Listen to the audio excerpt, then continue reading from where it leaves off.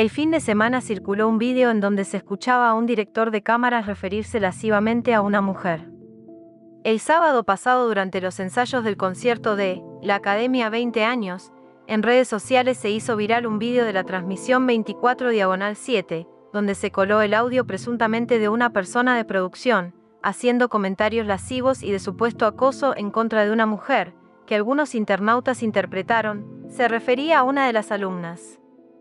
En ese momento quienes se encontraban en el escenario eran Jackie, la reciente expulsada del domingo y Cecia, mientras que la voz del hombre dice, viene bien tapadita, inaudible, hace un chorro de frío, hoy viene bien sexy, mmm, mami, risas.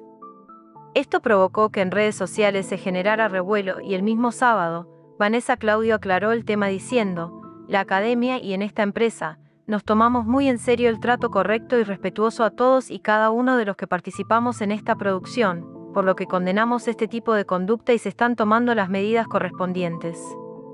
Detallando que en la semana hubo una charla que le dieron a los alumnos al respecto, prueba de ello incluso es la charla que la unidad de género compartió a todo el personal de la academia justo esta semana para refrendar el respeto como forma de vida. Muy importante, finalizó el breve comunicado la conductora en el programa. Pese a esto, los comentarios continuaron por la expulsión de Jackie, pues internautas se dieron cuenta que su perfil de Instagram fue el único que reprobó abiertamente el vídeo que se hizo viral en redes y condenó lo que sucedía, pues Jackie era una de las involucradas, por lo que los fans del proyecto consideraban que pudo haber sido un factor importante para su expulsión. Incluso la misma exalumna comentó esa misma noche que no estaba muy enterada del tema pero que algo le habían platicado.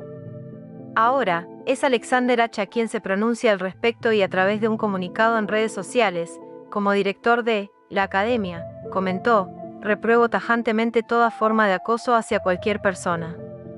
Mi responsabilidad como director de la academia está delimitada a aspectos de formación artística y del desempeño académico de los alumnos, actividades que son totalmente independientes y ajenas a la producción del programa y el manejo de cámaras, comenzó.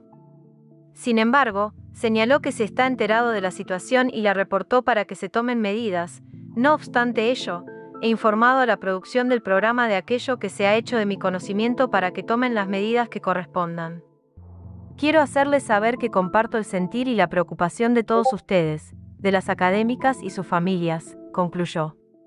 Además, el caso llegó hasta el dueño de TV Azteca, Ricardo Salinas Pliego, quien recibió miles de comentarios al respecto en redes sociales y respondió, estamos investigando.